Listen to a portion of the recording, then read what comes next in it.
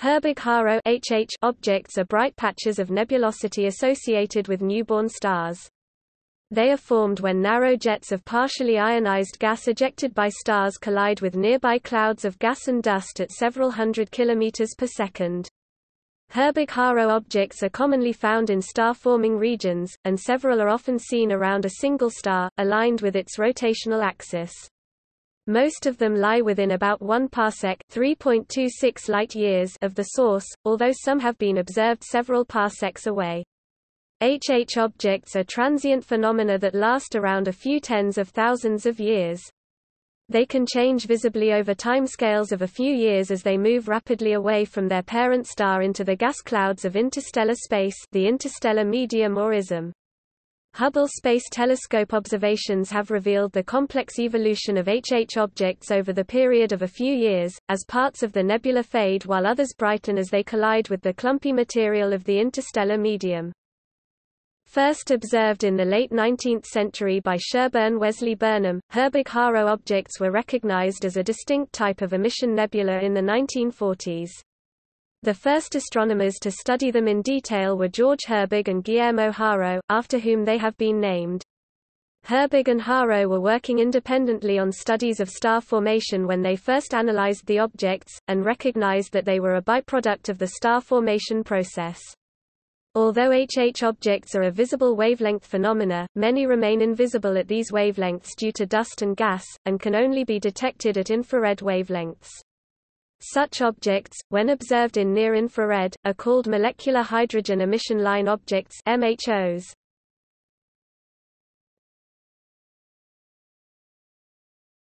Topic: Discovery and history of observations. The first HH object was observed in the late 19th century by Sherburne Wesley Burnham, when he observed the star T Tauri with the 36-inch refracting telescope at Lick Observatory and noted a small patch of nebulosity nearby. It was thought to be an emission nebula, later becoming known as Burnham's Nebula, and was not recognized as a distinct class of object. T Tauri was found to be a very young and variable star, and is the prototype of the class of similar objects known as T Tauri stars which have yet to reach a state of hydrostatic equilibrium between gravitational collapse and energy generation through nuclear fusion at their centers. Fifty years after Burnham's discovery, several similar nebulae were discovered with almost star-like appearance. Both Haro and Herbig made independent observations of several of these objects in the Orion Nebula during the 1940s. Herbig also looked at Burnham's Nebula and found it displayed an unusual electromagnetic spectrum, with prominent emission lines of hydrogen, sulfur and oxygen. Haro found that all the objects of this type were invisible in infrared light. Following their independent discoveries, Herbig and Haro met at an astronomy conference in Tucson, Arizona in December 1949. Herbig had initially paid little attention to the objects he had discovered, being primarily concerned with the nearby stars, but on hearing Haro's findings he carried out more detailed studies of them. The Soviet astronomer Viktor Ambartsumian gave the objects their name Herbig-Haro objects, normally shortened to HH objects, and based on their occurrence near young stars a few hundred thousand years old, suggested they might represent an early stage in the formation of T Tauri stars. Studies of the HH objects showed they were highly ionized, and early theorists speculated that they were reflection nebulae containing low luminosity hot stars deep inside. But the absence of infrared radiation from the nebulae meant there could not be stars within them, as these would have emitted abundant infrared light. In 1975 American astronomer R. D. Schwartz theorized that winds from T Tauri stars produce shocks in the ambient medium on encounter, resulting in generation of visible light. With the discovery of the first protostellar jet in HH 4647, it became clear that HH objects are indeed shock-induced phenomena with shocks being driven by a collimated jet from protostars.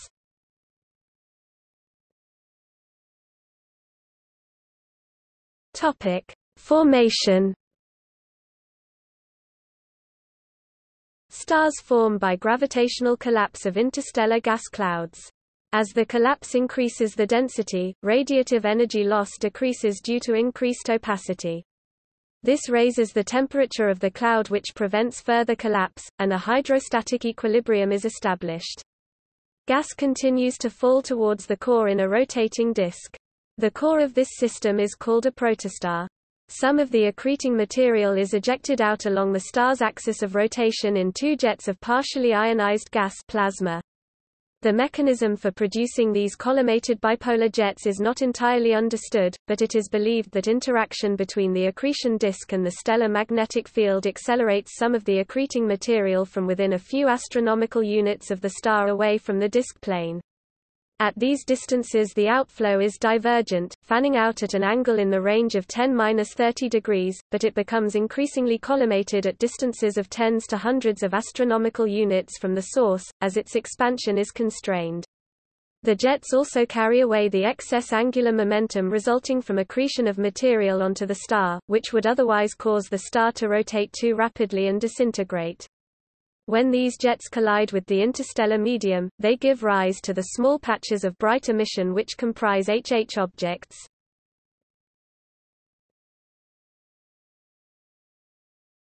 Topic: Properties.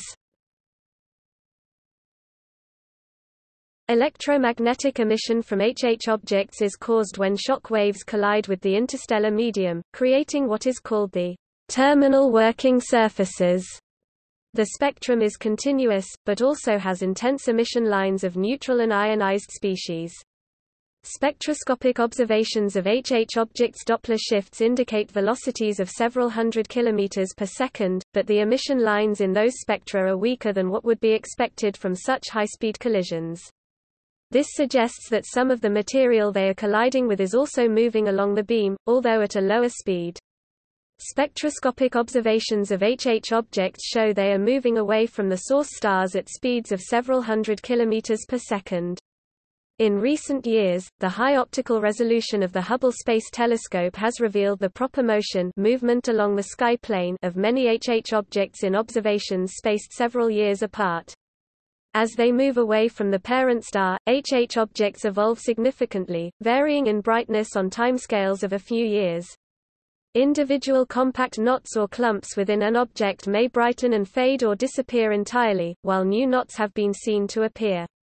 This is most likely because of the precession of the jets and their pulsating, rather than steady, eruption from the parent stars. Faster jets catch up with earlier slower jets, creating the so-called internal working surfaces where streams of gas collide and generate shock waves and consequently emissions, the total mass being ejected by stars to form typical HH objects is estimated to be of the order of 10-8 to 10-6 m per year, a very small amount of material compared to the mass of the stars themselves but amounting to about 1 to 10% of the total mass accreted by the source stars in a year. Mass loss tends to decrease with increasing age of the source.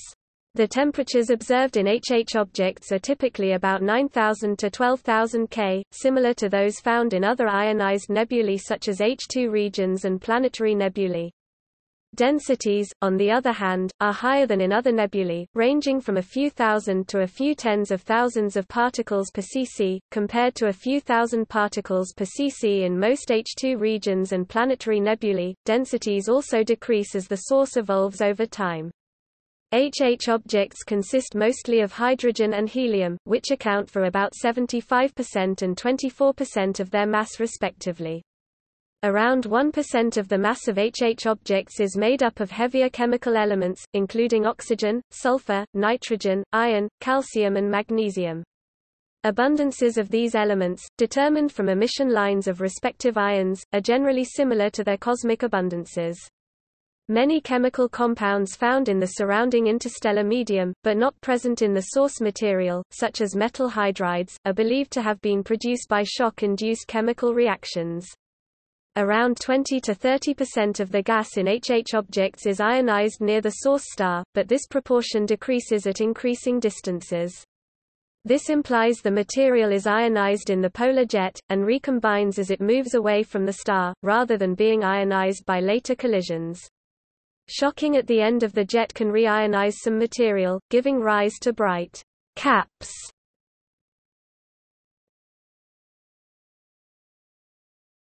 Topic: Numbers and distribution HH objects are named approximately in order of their identification, HH1 and HH2 being the earliest such objects to be identified. More than a thousand individual objects are now known. They are always present in star-forming H2 regions, and are often found in large groups. They are typically observed near Bok globules, dark nebulae which contain very young stars and often emanate from them. Several HH objects have been seen near a single energy source, forming a string of objects along the line of the polar axis of the parent star. The number of known HH objects has increased rapidly over the last few years, but that is a very small proportion of the estimated up to 150,000 in the Milky Way, the vast majority of which are too far away to be resolved. Most HH objects lie within about one parsec of their parent star. Many, however, are seen several parsecs away. HH 4647 is located about 450 parsecs 1,500 light-years away from the Sun and is powered by a Class 1 protostar binary. The bipolar jet is slamming into the surrounding medium at a velocity of 300 km per second, producing two emission caps about 2.6 parsecs 8.5 light-years apart. Jet outflow is accompanied by a 0.3 parsecs (0.98 light-years) long molecular gas outflow which is swept up by the jet itself. Infrared studies by Spitzer Space Telescope have revealed a variety of chemical compounds in the molecular outflow, including water ice, methanol, methane, carbon dioxide dry ice, and various silicates located around 460 parsecs 1500 light-years away in the Orion Nebula. HH34 is produced by a highly collimated bipolar jet powered by a Class I protostar. Matter in the jet is moving at about 220 km per second. Two bright bow shocks, separated by about 0.44 parsecs 1.4 light-years, are present on the opposite sides of the source, followed by series of fainter ones at larger distances, making the whole complex about 3 parsecs 9.8 light-years long. The jet is surrounded by a 0.3 parsecs 0.98 light-years long weak molecular outflow near the source.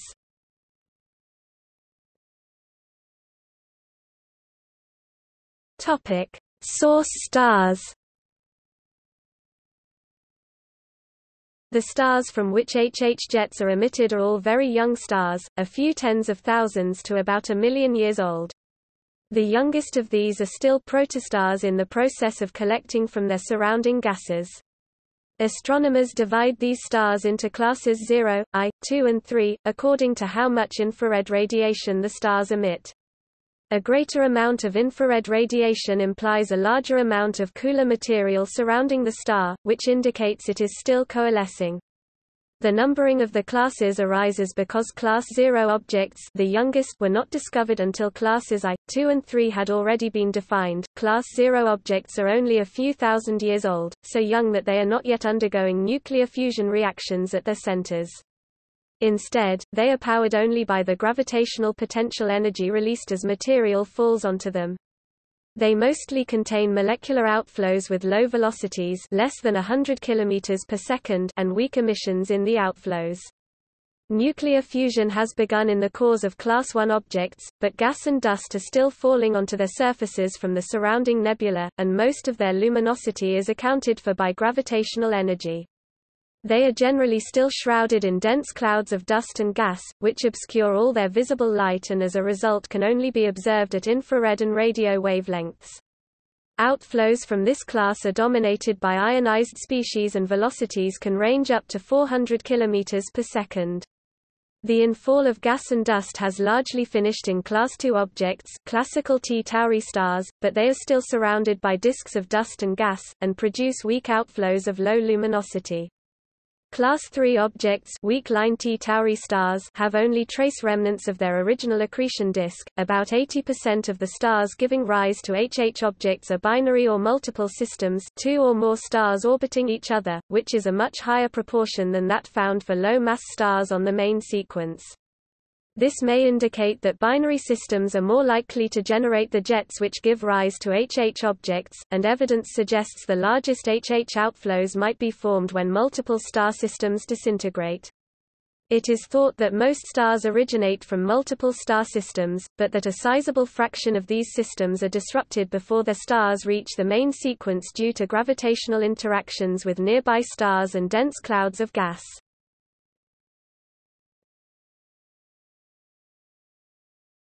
Topic: Infrared counterparts. HH objects associated with very young stars or very massive protostars are often hidden from view at optical wavelengths by the cloud of gas and dust from which they form. The intervening material can diminish the visual magnitude by factors of tens or even hundreds at optical wavelengths. Such deeply embedded objects can only be observed at infrared or radio wavelengths, usually in the frequencies of hot molecular hydrogen or warm carbon monoxide emission. In recent years, infrared images have revealed dozens of examples of infrared HH objects. Most look like bow waves similar to the waves at the head of a ship, and so are usually referred to as molecular bow shocks. The physics of infrared bow shocks can be understood in much the same way as that of HH objects, since these objects are essentially the same, supersonic shocks driven by collimated jets from the opposite poles of a protostar. It is only the conditions in the jet and surrounding cloud that are different, causing infrared emission from molecules rather than optical emission from atoms and ions. In 2009 the acronym MHO for Molecular Hydrogen Emission Line Object, was approved for such objects, detected in near-infrared, by the International Astronomical Union Working Group on Designations, and has been entered into their online reference dictionary of nomenclature of celestial objects. The MHO catalog contains over 2,000 objects.